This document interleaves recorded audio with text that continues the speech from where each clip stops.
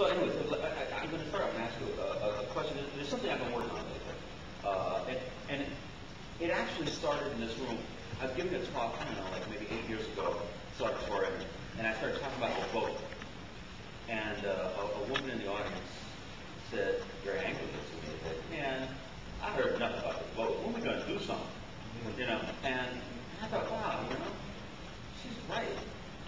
And, and, and, and so I've been, thinking lately, I've, I've been thinking about, well, there's, there's two things with me. I've been, I've been thinking about starting a website where people can download software in order to identify themselves as a special interest group, and then find other people who agree with their interests, and then take that from the virtual world to, the real world. The reason that I want to do it, and, and, and I want to see how, what you think about this, is, is my understanding that rather than living in a democracy, by default, we're living in a mostly benevolent oligarchy. Oligarch, yes, benevolent, no. But, no, this business of the vote is really important. We we live in a culture, and you can see this by what television emphasizes, what the newspapers emphasize. Everything is built around the vote. Everything is built around who is going to be the next president. Because we all learn as we're growing up in this country, the most important thing is who is president and who is in Congress. And what we should have learned by now, if we really learn history, or if we just look around and thought about it, is that the president, Congress, the Supreme Court, they get all the attention. But the fact is, we cannot depend on them to bring about state justice and equality in this country. It is up to us. That's why what you're saying about the internet, bringing people together, grassroots groups, making connections. I mean, that's democracy. Right. But, you know, you go to junior high school and they teach you what democracy is and they, they put on board the three branches of government and they talk about checks and balances and, no, that's not democracy. I mean, it, it, it's this one kind of very bureaucratic, like wing of democracy. Yeah. No, it's, you know, democracy is what people do for themselves.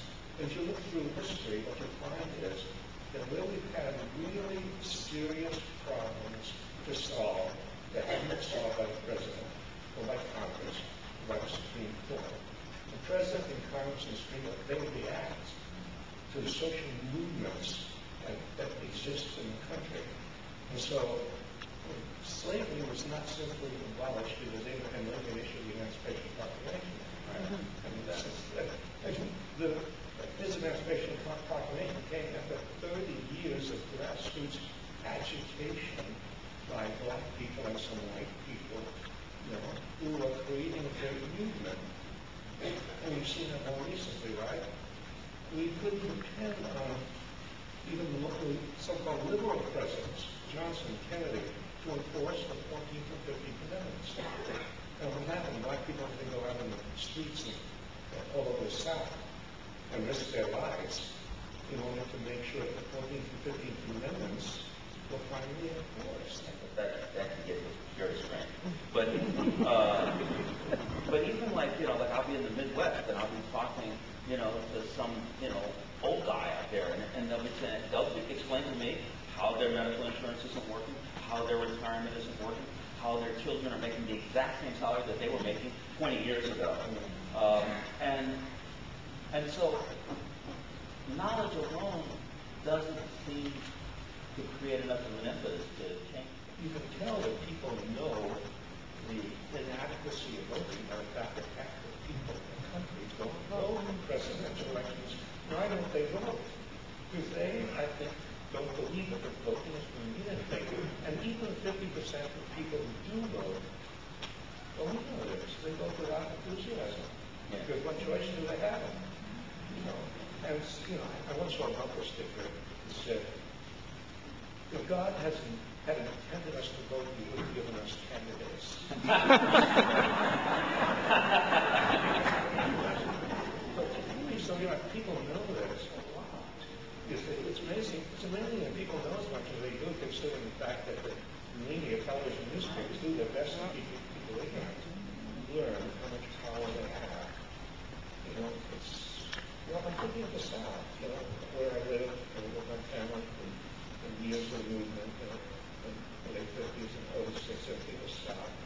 And, uh, a lot of people knew what their lives were like, but it took a, it took a while to, to transform that knowledge into this fantastic movement. And, and, and, and, and, and that movement is a young problem, right? It was. And that, that, that, you know, because on one prompt I had today, I'll talk to, I'll talk to somebody and I'll say, I'll, I'll, I'll make a suggestion. I'll say, well, why don't you get this young uh, woman or this young guy uh, to lead your organization? They said, well, they're only 27. I said, well, you know, that's how Martin Luther King was when they did the boycott. They said, well, he was different. They don't make people like him There's that, that kind of, but, that, but that's a self-defeating notion, right? Like, it, it, and, and, and, and that, that becomes part of. And, and another thing, like another step beyond that, that, that is connected to that, I, I'll, I'll say to somebody, say, well, who you vote for? And I say, well, you know, who I vote for doesn't matter. How I vote, how I identify myself matters. And then they don't hear that. And they say, well, I like Barack Obama, let's say. You know, Hillary Clinton, Rudy Giuliani, I don't know. But they say somebody. And, and they say, let's let's say they say Barack. And I say, say, I like him. And I said, well, do you know him? Like, and they, well, yeah, I know what he stands for. I said, well, what does he stand for, right? And, you know, I know you live in Harlem. You thought you knew that, and you were wrong. And, and, and you, you understand what I'm, I'm trying to say? This is a question of, of, there's some knowledge that we, that we believe we have, that we don't really have. I like, people have like, you know, Barack Obama and Hillary Clinton and all, they're like rock stars. But we don't have people to have as their heroes the people in the anti-slavery movement, the people who led working people, the labor organizers, the Cesar Chavez, the boycotters. We want them to to learn you know, about the anti-war people, about the, those who protested our various wars. We want them to learn socialists and anarchists and dissenters, the kind of people you don't read about in history. like like Thomas Paine sometimes gets left out of this. It's such an important uh, figure. I'm, I'm a revolutionary, a guy in politics. Absolutely. So we need new sets of heroes for young people, not the, not Christopher Columbus and not Theodore Roosevelt, not Andrew Jackson. We need Lou Hamer and Bob Moses. We need the right Bob Moses. To the. Oh, But, but, but, but, part of the problem of course, I mean, or, or what, what seems, what, what seems to me a, a, a problem is that you came up in a time, saying, you know, we're not really a democracy, but there are a few very, very powerful, rich people who are at the top of of society. They think you're being unpatriotic. Yeah. And they, they use that word unpatriotic, and they forget what patriotism really is. And patriotism is love of your country. It's not love of your government. There's a difference between the government and the country. yeah, I don't have to love your Uh, Come to think of it, you know.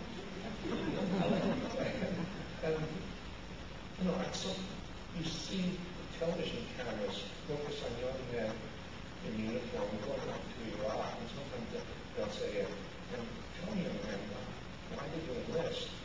And you, or, or a young woman, well, because I believe I owe something to my country. I want to fight for my country. They don't believe it. They're not going to fight for their country. They're going to fight for Bush and Cheney and Halliburton. They're, they're going to fight for the corporations that make profit out of the war. Uh, The country doesn't need war. The country doesn't need huge, huge sums of money, billions of dollars on war. The country needs to take care of people here, to take care of people elsewhere. That's the country. And, uh, and I think when the government acts against the interests of a country, tear it down. I, uh, no, I was thinking you would say something like No, that. no, no, you just- you're right. I mean, I, I, I love it, uh, uh, that, that, uh, uh, with Cindy Sheehan, right? That she's, that, you know, Pelosi doesn't, uh, uh, vote, uh, to, to try to impeach Bush, that she's gonna run against it. That's democracy. That you're not doing what I want, so I'm gonna run against you and see if the people agree with me or if the people agree with you. In San Francisco, they're gonna agree with, with, uh, Machine. So that would be really great. I- And I think that to say that we need to tear the government down is not a bad thing. You know, the government, the government doesn't represent us, Well, you know, when you say tear the government down, I mean, the writers of the Declaration of Independence didn't use those exact words, but they said basically the same thing. Because in the Declaration of Independence, which, by the way, the leaders of our government really don't want us to read very carefully. The Declaration of Independence says that when governments become destructive of the rights and equality of life, liberty, and pursuit of happiness, when governments become destructive of those, it is the right of the people to alter or abolish the government. And, and certainly, right now, it is our right to impeach the president vice president.